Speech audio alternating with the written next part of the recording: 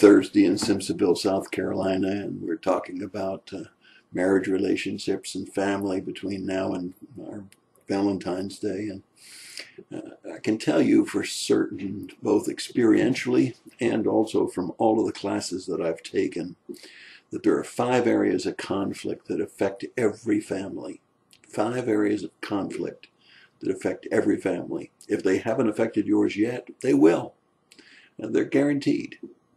The first one is relationships. Relationships with relatives. Now, it'll be other people as well, but it usually comes most severely in the area of your own relations, your own family members, and your husband's family members or your wife's family members. Second area is communications. Lack of improper attitudes, communications the second area. Third area is finances. Doesn't always have to be the lack of finances, although that's the most common one. Uh, sometimes it can be just who manages them, whose money is it, those kind of things. And we'll be talking about each of these in detail. The fourth one is emotional physical. There will be a time in your life, the life of your spouse or your children, where they'll either be under a tremendous emotional strain or they'll be under physical strain from illness or uh, various uh, problems that come up with the physical body. And finally, number five is spiritual. Uh, very often, those first four become much more acute in our problem because of the spiritual condition of the family or the individuals of the family. Now, God knows and He cares. And when He gave us a book, He gave us a book that has much information about how to handle these problems, how to handle relatives, how to handle communications, how to handle finances, how to handle emotional and physical stress, how to handle spiritual problems. Now, when we look at the book, there are tidbits all through the entire Bible about the family, about the areas of conflict, about how to handle those areas of conflict. Some are expressly uh, applicable to the family, some are implied through other situations. Nevertheless, one of the great books to take a look at for family relationships and guidance in all of these five areas is the book of Proverbs. Where did we get the book of Proverbs? Well, we got it from Solomon. He wrote many, but he also collected many wise statements uh, that he thought were profound and were worthy of binding into the book of Proverbs. In 1 Kings chapter 3, verses 6 through 9, Solomon, a young man, getting ready to take over a joint kingdom, one of the largest kingdoms that Israel had ever known, prayed to God and he said, I need an understanding heart to judge this people of yours. That was a wise prayer. And Solomon, having been given that wisdom, accumulated these sayings that we find in the book of Proverbs. For example, in 1 Kings chapter 3, verses 16 through 27, we find two women of ill repute arguing over a child. One has died and the other one is still living, and of course, they both claim the living child. Solomon, with his wisdom about how to deal with family relationships and with these kinds of situations, says, I know what we'll do. We'll cut the child in half and give you each half.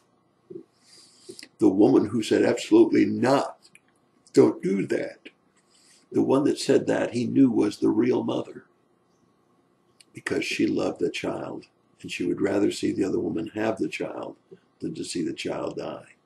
That's wisdom. And, and, so we see in the book of Proverbs the wisdom of Solomon, not only his own as he wrote, but also the wisdom uh, that he accumulated to put into the book of Proverbs. Now, James 1 5 tells us that if we lack wisdom, we should ask of God who will supply that wisdom for us. Let's take the first proverb today. Proverbs 1 5. A wise man will hear and increase in learning, and a man of understanding will acquire wise counsel. Did you hear what it says? A wise person will listen. He will increase in his learning and he will acquire wise counsel. Now, what does that mean? Well, listen to sermons, read books, we go to retreats, we seek out Christian counselors, we talk to our parents if they've been successful in their relationships. We talk to other older and wiser people who have been successful in relationships. And we study the scriptures to find the counsel that we need for every situation that we know we'll come across. Jacob had problems with his father in law. Eli had trouble with his sons. Joseph had problems with his brothers. You see, there's all kinds of stories in the scriptures that deal with relatives and problems with relatives. So sometimes the word is very expressly written for us in, say, the book of Proverbs, in the book of Ephesians that we looked at the other day. But many times it's hidden away in the stories of the scriptures and the characters of the scriptures. Proverbs 12:20 says, "Deceit is in the heart of those who devise evil, but counselors of peace have joy." You see, someone that wants to counsel is one that wants to bring about peace and joy. And a good Christian counselor can go a long way. This weekend, Temple Baptist Church will have a parenting conference. My guess is that there'll just be a handful of couples there. Because most of us don't think we need the help, but we all do.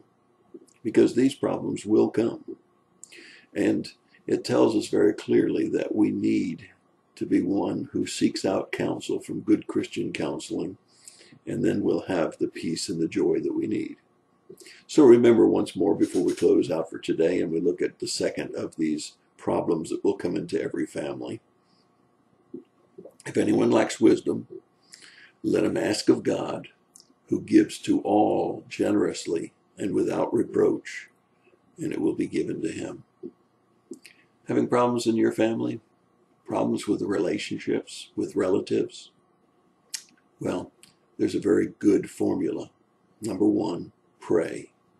Number two, empathize. Try to put yourself in those others' position so that you can better understand why there's a problem. Three, forgive and get perspective. Is this really worth fighting about? Is this worth holding bitterness and grudges about? Four, strive for peace. Four simple things that we can all do pray, empathize, forgive, get perspective, and strive for peace. That's your thought for the day on relatives and having peace in the home, a problem area that everyone's going to experience. Look to the scriptures for wonderful, wise answers. That's your thought for the day. God bless you.